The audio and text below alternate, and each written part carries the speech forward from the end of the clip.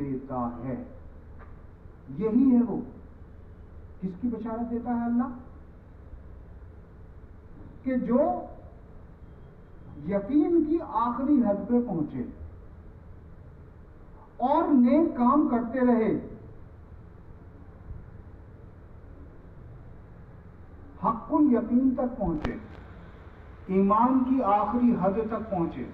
تجربہ کر لینے کے بعد آخری حد تک پہنچے۔ ان کے لیے آپ فرما دیں کہ میں تم سے اس کا کوئی بدلہ نہیں مانگتا۔ اللہ تعالیٰ اپنے رسول سے یہ فرما رہا ہے کہ آپ کہو۔ کن کہہ کے بھی اپنی بات اس کے منہ سے سنی۔ کن کہہ کے بھی اپنی بات اس کے منہ سے سنی بس تیرے اللہ کو اتنی سی گفتگو ہے پسند۔ اللہ تعالیٰ نے جو بھی کہلوایا وہ رسول کے منہ سے کہلوایا کہو۔ آپ فرما دو۔ آپ فرما دے کہ میں تم سے اس کا کوئی بدلہ نہیں مانگتا۔ کس کا بدلہ؟ کس چیز کا بدلہ اللہ تعالیٰ نہیں مانگتا؟ آیت کا مقصد ہوتا ہے نشانی اور نشانی وہ ہوتی ہے جو نشانی کے مالک تک پہنچائے۔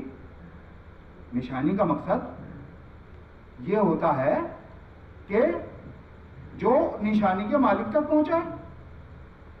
میں تم سے اس کا بدلہ کوئی نہیں مانگتا سوا جو میرے قریب ہیں ان کی محبت کے۔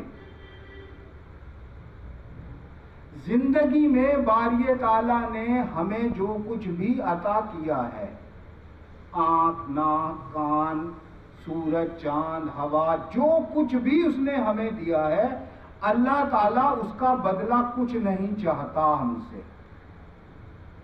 آپ سمجھ رہے ہیں نا؟ سمجھ پا رہے ہیں یا اور اگر کوئی سوال ہو تو بیچ میں پوچھ سکتے ہیں۔ اللہ تعالیٰ کسی چیز کا بدلہ نہیں چاہتا۔ سوائے جو میرے قریب ہیں ان کی محبت کے۔ یعنی اللہ تعالیٰ سرکار دو عالم کے ذریعے یہ کہلوا رہا ہے کہ اے امت کے لوگوں، جو میرے قریب ہو چکے ہیں، ان سے محبت کرو۔ باقی میں اور کوئی بدلہ نہیں مانگتا جو میرے قریب ہو چکے ہیں، اب سوال یہ پیدا ہوتا ہے کہ اللہ تعالیٰ کے قریب کون ہو چکے؟ بھائی اللہ تعالیٰ نے فرما دیا کہ جو میرے قریب ہو چکے، تم ان سے محبت کرو۔ اب ہمیں یہ تو ہونا پتا ہونا چاہیے کہ کون اللہ کے قریب ہوا۔ یہاں غور و فکر کا مقام ہے۔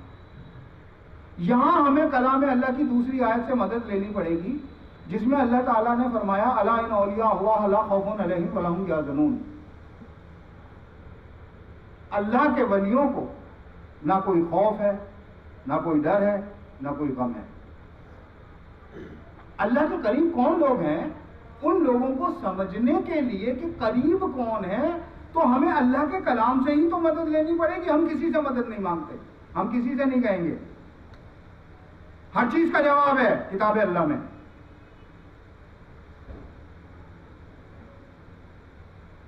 اللہ اللہ اللہ خوف علیہم ولہم یحزنون اللہ کے ولیوں کو نہ کوئی خوف ہے، نہ کوئی ڈر، نہ کوئی غم۔ اب ہماری سمجھ میں تھوڑا سا آ گیا کہ اللہ تعالیٰ کن کو اپنا قریبی بتا رہا ہے۔ ٹھیک۔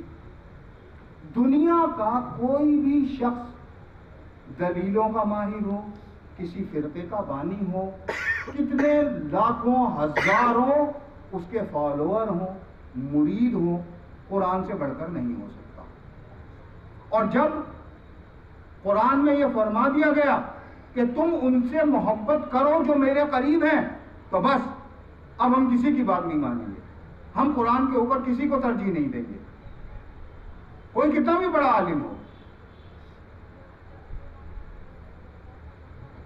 آپ فرما دیں کہ میں تم سے اس کا کوئی بدلہ نہیں مانگتا، سوائے جو قریبی ہیں میرے، ان کی محبت کے۔ اور جو کوئی نیکی کرے گا تو یہ تو ہم نے سمجھ لیا کہ اللہ کے کریم کون ہیں اور ہمیں ان سے محبت کرنے کا اللہ تعالیٰ نے حکم دیا ہے اور یہ کوئی تفسیر نہیں ہے۔ یہ سیدھا سیدھا ترجمہ ہے۔ یہ تفسیر بیان نہیں کر رہا ہوں میں۔ اس کا کوئی بدلہ نہیں مانگتا سوائے قرابت کی محبت کے بعد، جو میرے قریب ہے ان سے محبت کرو۔ اور جو کوئی نیکی کرے گا تو ہم اس کے لیے اس میں اور خوبی بڑھا دیں گے۔ اب ایک آدمی ہے کہ بھائی یہ نیکی کرو گے تو اس کا بدلہ یہ ہے۔ یہ نیکی کرو گے، اس کا بدلہ یہ ہے۔ یہ نیکی کرو گے، اس کا بدلہ یہ ہے۔ بطور ظاہری علم۔ کہ بھائی یہ نیکی ہے، یہ نیکی ہے، اس کا بدلہ یہ ہے، اس کا بدلہ یہ ہے۔ باری تعالیٰ فرما رہا ہے، ہم اس کے لیے جو نیکی وہ کرے گا، اس کی خوبی بڑھا دیں گے۔ خوبی بڑھا دیں گے یعنی اگر کسی دوسرے جو یہ کام کرے گا، جو محبت کرے گا ان لوگوں سے جو اللہ کے قریب ہیں، اس کے لیے نیک کام میں خوبی بڑھانے سے مراد یہ ہے کہ اس کے لیے ایک کام کا نیک کام کا بدلہ عام آدمی سے کئی گنا زیادہ کر دیا جائے گا۔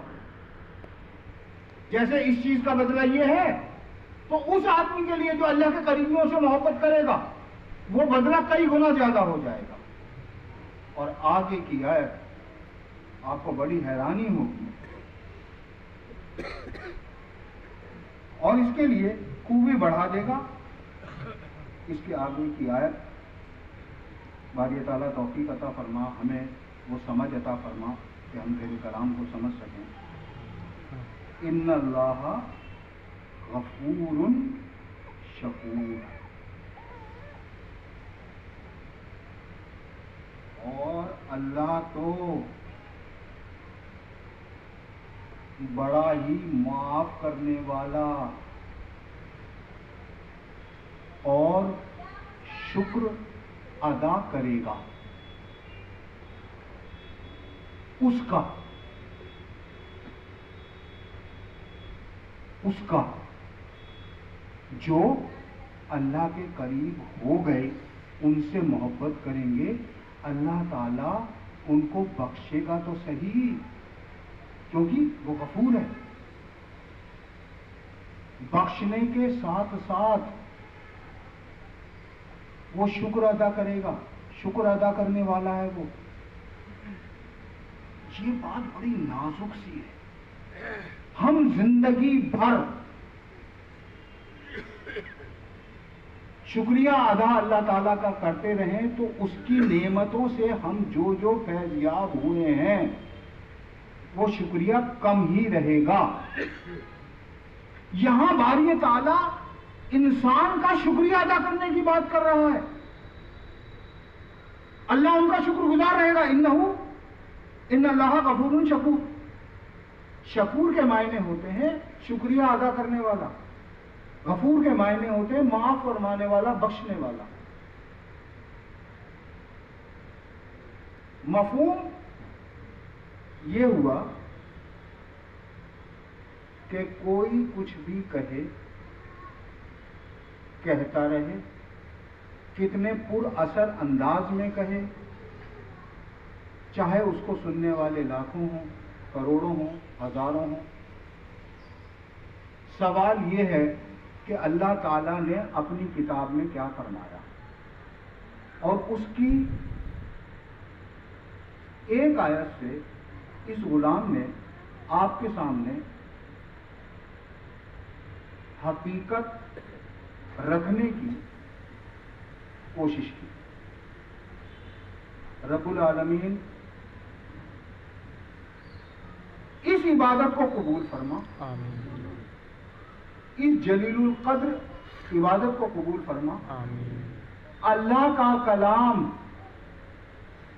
رٹنے دہرانے ہل ہل کر پڑھنے کے لیے نازل نہیں ہوا۔ یقیناً اللہ کا کلام پڑھنا با سعادت کا کام ہے۔ سعادت کا کام ہے، عزت کا کام ہے۔ لیکن اس کے نازل ہونے کا مقصد اسے رٹنا یا دہرانا نہیں ہے۔ قرآن خود کہہ رہا ہے، اس میں غور کرنے والوں کے لیے نشانیاں ہیں۔ اس میں غور و فکر کرنے والوں کے لیے نشانیاں ہیں۔ اس میں ان کے لیے نشانیاں ہیں جو عقل اور سمجھ رکھتے ہیں۔ یہ اللہ تعالیٰ کا قانون ہے اپنے بندے کے لیے جو اس قانون کی کتاب کا پابند رہے گا۔ جو اس قانون کی قانون کی کتاب ہے بھائی، یہ رٹنے دوہرانے کی کتاب نہیں ہے۔ یہ کتاب تدبر اور تفکر کے لیے ہے۔ جو اس میں قوانین کو سمجھ کر، اس کے قانونوں کو سمجھ کر عمل میں لائے گا، یقیناً وہ بہبودی اور بہتری پائے گا۔ آمین۔ اللہم آمین۔ آپ لوگوں نے اتنے پیار سے اس غلام کو سنا اور سمجھا، اس کے لیے بہت بہت شکریہ۔ ایک آدمی